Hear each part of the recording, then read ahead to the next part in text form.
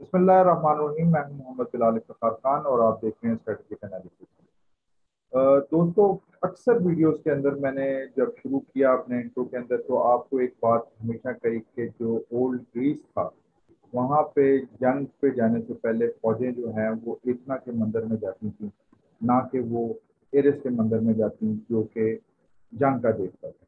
उसके पीछे रैशनल था, और वो रैशनल ये था कि जंगें हमेशा विजडम से जीती जाती हैं, फारसाइट से जीती जाती हैं, ना कि तशद से जज्बात से आज काबुल के अंदर दो खुद कुछ धमाके हुए, एक हामिद करजई एयरपोर्ट के अमेरिकन साइड पे, यानी कि ईस्टर्न दरवाजे के ऊपर, और एक उसके करीब ही एक बैरन होटल है, उसके करीब।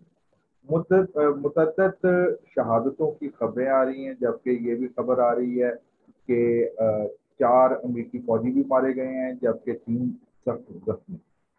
इसके साथ साथ एक और अहम धमाका हुआ है, जो कि कजाकिस्तान में हुआ है। ये धमाका एक मिलिट्री बेस के पास हुआ है, वहाँ पे जो उनका ऑर्डिनेंस डिपू था, उसके अंदर धमाका हुआ, लेकिन इस धमाके को ट्रिगर किया एक आईईडी ने, जो उसके पास दबाई गई। थी क्योंकि ये कजाकिस्तान जो है, ये आप जानते हैं कि सेंट्रल एशियन रियासतों में सबसे बड़ा एक मुल्क है जिसकी सरहदें ताजिकिस्तान, उज्बेकिस्तान, रशिया और चाइना के साथ हैं।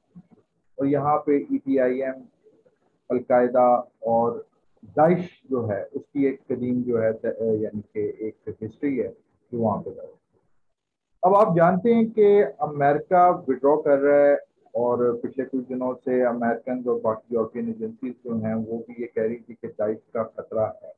और आप जानते हैं कि तालिबान के आने से पहले यहाँ पे दाइश की बहुत बड़ी बड़ी कार्रवाई हुई जिसमें मिनिस्ट्रीज के ऊपर हमले और ख़ासतौर पे जो हज़ारा सेक्शन है, वहाँ पे हज़ारा जो मुस्लिम हैं, उनके ऊपर बहुत बहुत हमले हुए। लेकिन पिछले दस दिन से जब से तालिबान ने काबुल के अंदर दाखिल हुए थे, उसके बाद से हम देख रहे थे कि एक अमन की फिजा नज़र आ रही थी, जो कि आज पामाल करने की कोशिश की इस धमाके के, इन धमाकों के महरक़ात क्या थे? इनके पीछे कौन हो सकता है?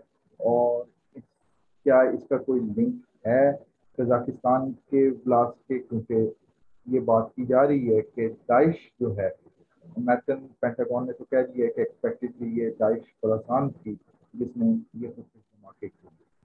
तो आज हमारे साथ मौजूद है। इस मौजूद पर बात करने के लिए अयाज खान। अयाज, सबसे पहले तो आप बताएँ कि क्या आप किस तरीके से इन दो धमाकों को देखते हैं? और दूसरा ये कि क्या आप समझते हैं कि कजाकिस्तान में जो दाइश ने धमाका किया है, उसका और ये काबुल धमाकों के दरमियान कोई लिंक मौजूद है? Thank you very much Bilal sir. देखिए, हमें इसको दो तरह से देखना होगा। पहली तो ये है कि हमें जो इन्फॉर्मेशन मिल रही है वो मीडिया के ज़रिए से और जो अमेरिकन इंटेलिजेंस की तरफ़ से जो हमें मीडिया थ्रू मीडिया आ रही है, वो ये है कि उनका ये एक जो इमीजिएट थाट है, वो ये है कि एस के या एस खानदान की तरफ़ से है। अब इसकी अहमियत इस वजह से बढ़ गई है कि ये जो है आपकी, उस वक्त हुआ है कि जब यहाँ से विड्रॉ हो रहा है, सारे लोगों को यहाँ से निकाला जा रहा है।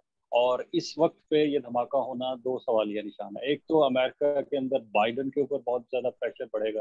आपको पता है कि रिपब्लिकन की तरफ़ से ज़्यादा प्रेशर आएगा और ट्रंप ने चंद दिन पहले आपको पता है कि उसने कहा था कि किस तरह से इसने ये सारा कुछ किया है डिफिकल्टी से इसको लपेटा है या किया है तो दैट इज़ नॉट गुड तो एक तरह से अमेरिका, बाइडन के ऊपर भी ये प्रेशर डेफिनेटली बनने जा रहा है, बल्कि एक वो किम सिंगर है रिपब्लिकन है, उन्होंने तो यहाँ तक कहा है कि अमेरिकन फोर्सेस को बाहर अब एयरपोर्ट से निकल के चीज़ों को संभालना चाहिए, सारा कुछ करना चाहिए। तो उस कॉन्टेक्स में ये बहुत अहमियत इस वजह से भी इख्तियार कर गया। दूसरा ये है कि तालिबान के ऊपर भी इस तरह से प्रेशर बढ़ेगा कि अभी वो जिस तरह से उन्होंने पीसफुली एक काबुल को उन्होंने आके वो हुकूमत वहाँ से हटाई और खुद आके वहाँ पे बैठ रहे बैठ रहे हैं और उन्होंने वहाँ पे कब्जा किया है। तो एक बहुत ही पीसफुल प्रोसेस जो लीस्ट एक्सपेक्टेड था कि किसी किस्म पे कोई कन्फ्रंट्रेशन नहीं हुई किसी किस्म का कोई खूनी बहाव सारा कुछ हुआ। तो उस सारा कुछ होने के बाद अब ये धमाका होना उनके लिए भी एक बड़ा एक चैलेंज है। Uh, उन्होंने क्लियरली एक चीज़ कही थी कि हम यहाँ पे किसी को इस्तेमाल नहीं होने देंगे सरजमीन को तो उनकी अपनी सरजमीन उनके खिलाफ इस्तेमाल हो रही है तो ये उनके लिए बहुत बड़ा चैलेंज अब ये भी देखा जाए कि आईसिस के जो है वो उनकी जो है वो दुश्मन भी है उनके खिलाफ भी अब इसको कौन भड़का रहा है? ये ये ये इस जो नतज हैं या इनसे फ़ायदा किसको होने जा रहा है तो वो आने वाले दिनों में आपको ज़ाहिर है उसका भी होगा। दूसरा ये है कि बहुत सारे लोग जो वेस्टर्न मीडिया है, अगर आप उसको उठा के देखें तो सब ये कह रहे थे कि जी, ये एक्सटेंड होना चाहिए वैक्यूएशन जो, ये, जो यहाँ से सारी चीज़ें निकाले जा रहे हैं लोगों को उन वहाँ से, उसको एक्सटेंड किया जाए। तो उस कॉन्टेक्स्ट में भी देखना चाहिए हमें कि आखिर इस खास खुदा ना खास ये जो धमाके में बहुत ही जानी मालूम जानी नुकसान हुआ है हर तरफ़ से हुआ है तो उसको तो जितना भी कंडक्ट कहीं से इस तरह की शरारत होगी, बल्कि आपको याद होगा कि कुछ कुछ दिन पहले इस चीज़ को सकता है। तो डेफिनेटली ये बड़ा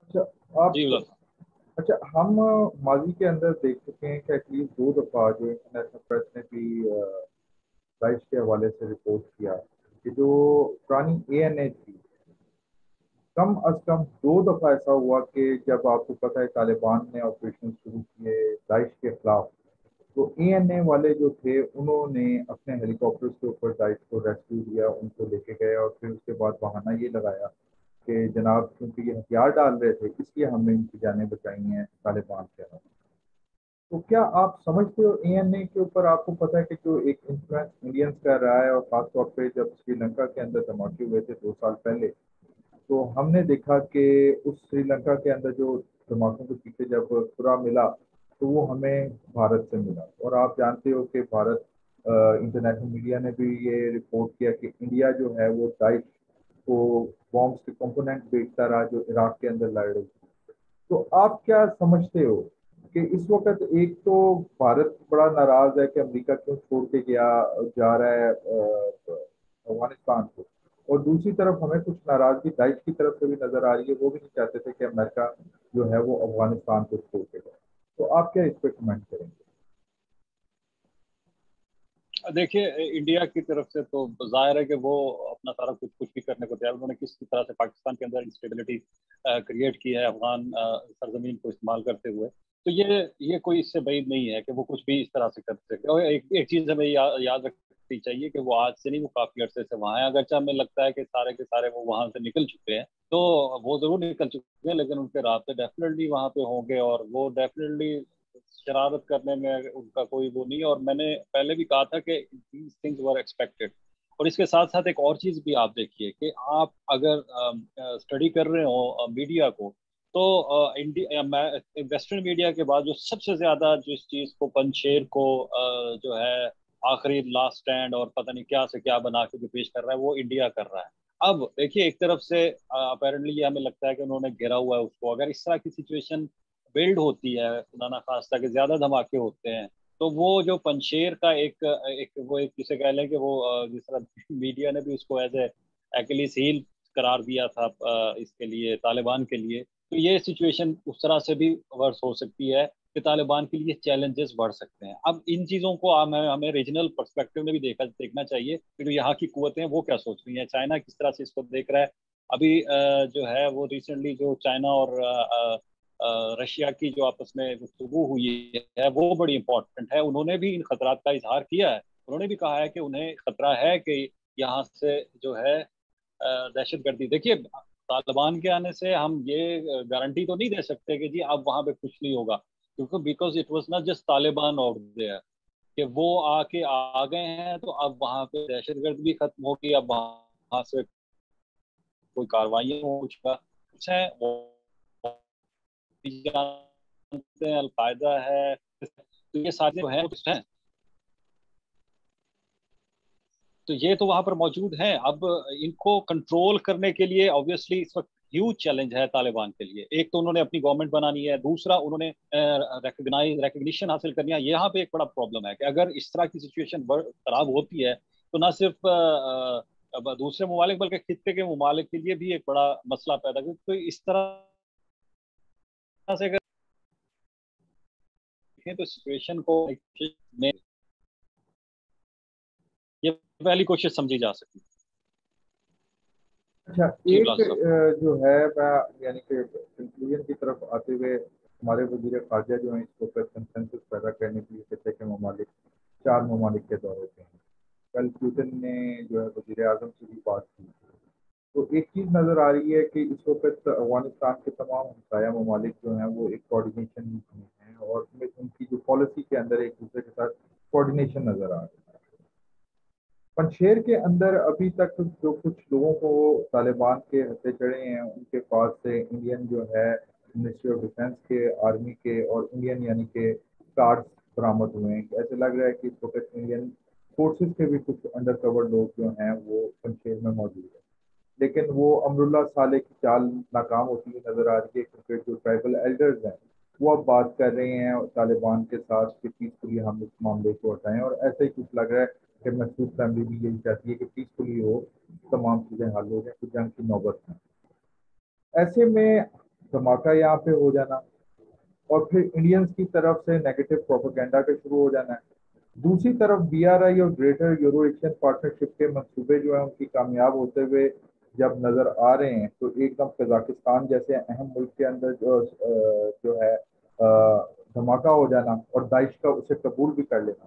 तो क्या आप समझते हैं कि ग्रेट गेम जो है वो अपने फुल उसमें आ रही है? क्या नाम है स्विंग के अंदर? और क्या आप समझते हैं कि ये जो एक, यहाँ पे फ़ेज़ लाने की कोशिश की जा रही है अनसर्टेनिटी का, ये जल्द खत्म हो जाएगा या इसको हम एक्सपेक्ट करें कि इसको फिर अमेरिकन भी प्रेजेंस और अमरीकी इतिहाद की प्रेजेंस भी इतनी है कि आगे भी ये हमें चीज़ें नज़र आएँगी। जी, इसमें अभी हमें पेंटागन की तरफ़ से और बाइडन की तरफ़ से भी हमें रिस्पांस का इंतज़ार करना चाहिए बिलाल साहब इस सिचुएशन वर्ड दे से।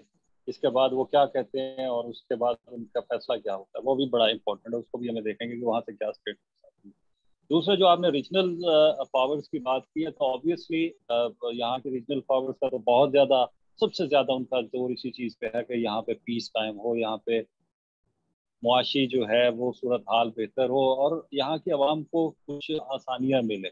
इवन के तालिबान का अगर आप स्टांस देखें, जैसे ही वो आए हैं तो उन्होंने उनकी जो आते साथ उन्होंने किसी किस्म की कोई ऐसी चीज़ नहीं की कि जिसके एक्सपेक्टेशंस थी या जो रूमर्स थी या जो कहा जा रहा था कि आप पता नहीं ये आते साथ क्या कर देंगे किस तरह का निज़ाम लेके आ जाएँगे। तो वो उस तरह का अभी तक इस तरह का कुछ नहीं हुआ। उन्होंने भी आकर स्टेबिलिटी की बात की है, उन्होंने भी आकर इसी चीज़ के हवाले से। आपको याद हो कि दो दिन, ये चंद दिन पहले की बात है कि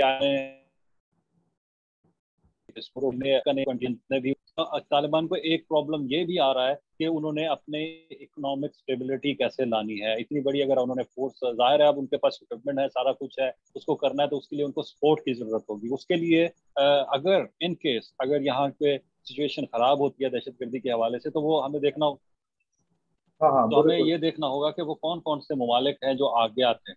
वो कौन कौन से ममालिक हैं जो आगे आते हैं। आ, उसमें चाइना भी है उसमें ऑब्वियसली बाकी ममालिक हैं। तो ये आपकी बात बिल्कुल ठीक है कि जो सेंट्रल एशियन स्टेट्स हैं वहाँ पे अगर जिस तरह से आपने बताया कि वहाँ पे धमाका हुआ है अगर वो, वो वहाँ पे ये इंडिकेशन तो है कि इस सिचुएशन को वर्स करने की कोशिश की जा रही है।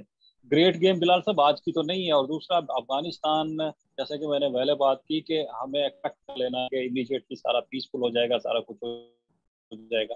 तो भी टेक टाइम जिस तरह से कहा गया था कि it will take six month और सो तो अब वो चूँकि सिक्स मंथ से पहले तालिबान आ गए हैं तो अब वो उसके रिएक्शन में बाकी फोर्सेस क्या करती हैं, इस पे एक इंपॉर्टेंट चीज़ भी तो देखिए ना कि जिस तरह से तालिबान ने ये कहा है कि वो किस को भी ये सरजमीन इस्तेमाल नहीं करने।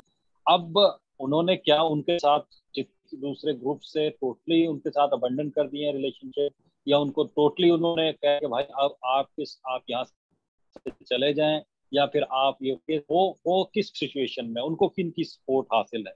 और वो आगे क्या क्या कुछ कर सकते हैं? तो ये ये ये सिचुएशन अब बहुत इंपॉर्टेंट है कि इसको देखना पड़ेगा कि आगे क्या हो। बहुत बहुत शुक्रिया यार। बात ये है कि जो रेमिनेंट्स हैं यहाँ पे रॉक एनडीएस का जो एक नेक्सस था, वो एक टेम्प्रेरी फ़ेज़ आया हुआ है जिसमें हम देख रहे हैं कि काबुल में भी धमाका हुआ, पाकिस्तान के कबायली इलाकों के अंदर भी हम देख रहे हैं कि कुछ गड़बड़ मचाने की कोशिश की जा रही है। ये वो स्लीपर सेल्स हैं जो तालिबान के आने से पहले यहाँ पे मौजूद है अब वो अपने आप को शो कर रहे हैं। होपफुली जिस तरीके से इस वक्त अफ़गानिस्तान के सारे हमसाए और खुद तालिबान जो हैं एक पेज पे नज़र आ रहे हैं, अमन के लिए ट्रेड के लिए, तरक्की के लिए तो जल्दी इन चीज़ों पे हो जाएगा। लेकिन एक बात है कि जो मुखालिफ फोर्सेज हैं, उन्होंने एक चीज़ शो कर दी है कि कजाकिस्तान पे भी हम तो हमारी पहुँच है और अफ़गानिस्तान पे भी हमारी पहुँच है। अब ये खत्े के ममालिक के ऊपर है कि वो कैसे एक दूसरे के साथ मिल के अपने जो एक अकूत का रिश्ता है, एक ट्रेड का और एक बेहतर मुस्तबिल का रिश्ता है, उसको मज़बूत करते हुए साथ चलते हैं और अपने जो पुराने अलाइज हैं जो कभी चाबहार के बहाने घुसने की कोशिश करते हैं लेकिन ईरान देख चुका है कि किस तरीके से इंडिया ने फिर ठुकराया भी ईरान को और इसी तरीके से रशिया भी देख चुका है कि अब वो बीका माहे और चार फाउंडेशनल माहों के बाद इंडिया जो है वो अमरीका की जोली में चला गया है। अब रशिया को भी देखना है चाइना को भी देखना है सबको मिलकर फैसला करना है कि हम अगर साथ खड़े होंगे तो फिर तरक्की करेगा।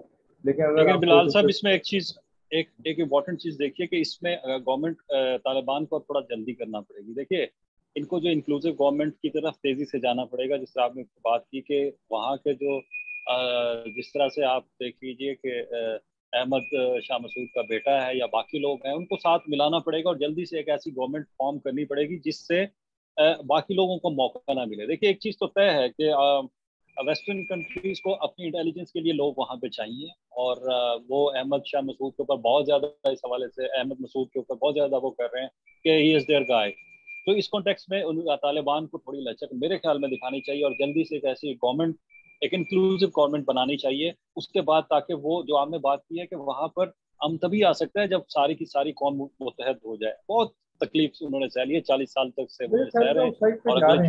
उस साइड पे जा रहे हैं उस साइड पे भी जा रहे हैं इसीलिए तालिबान आज देखो ना सुबह से एक अफवाह फैलाई गई। पहले अमेरिकन ने भी फिर रशियन मीडिया ने भी कोर्ट की के हामिद करजई और अब्दुल्ला अब्दुल्ला के गार्ड को मसला हाँ, घर में बंद कर दिया। घर में बंद कर दिया गया। उसके बाद जब बात खुली तालिबान ने खुद डिनाई किया और जो इंडिपेंडेंट वहाँ पे रिपोर्टर्स हैं मसलन एक्स हमारे इंडस न्यूज़ की रिपोर्टर सुमेरा खान वहाँ पे उन्होंने कहा ऐसी कोई बात नहीं है। तो एक डिसइंफॉर्मेशन की वॉर तो चल रही है इसमें तो कोई शक नहीं। और इस डिस इंफॉर्मेशन की वॉर के अंदर कंफ्यूजन बहुत ज़्यादा है। अगर आप इंडियन मीडिया देखें तो लगता है कि आग दोबारा लगा दी गई है। अगर आप पाकिस्तानी मीडिया देखें तो सब सही है तो दरमियान में सिचुएशन है। लेकिन लगता है कि तालिबान ने बहुत कुछ सीखा है और होपफुली होपफुली कि उन्होंने भी सफ़र किया और अफगान को चालीस साल से सफ़र कर रही है। अब जो लीडरशिप है वो अच्छाई की तरफ़ है। जाते जाते आप सबसे दरखास्त है कि अगर आपको ये वीडियो पसंद आई है, आपको चैनल लग रहा है कि हम आप अच्छा काम कर रहे हैं तो प्लीज़ आप इस वीडियो को लाइक कीजिए चैनल को सब्सक्राइब कीजिए और कमेंट के ज़रिए हमें अपनी राय बताइए अगले एनालिसिस तक के लिए मुझे और अयाज खान पर तो इजाज़त दीजिए। असल वरहमल वर्क